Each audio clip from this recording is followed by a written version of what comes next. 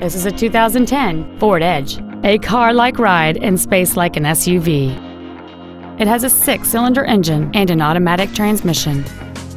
Its top features and packages include a convenience package and many other features. The following features are also included a rear window defroster, a keyless entry system, a CD player, a traction control system, front multi-stage airbags, and this vehicle has fewer than 19,000 miles on the odometer. Please call us today for more information on this great vehicle.